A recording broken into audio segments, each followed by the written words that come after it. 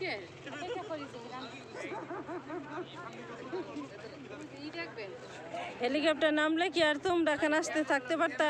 না তো যে সরাসরি কিন্তু এটা তো দেখা সূর্য সূর্যাস্তটা একেবারে হালকা দেখা যায়।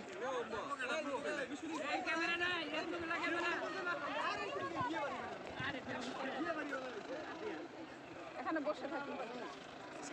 আরেকটু পর আসতে পারব।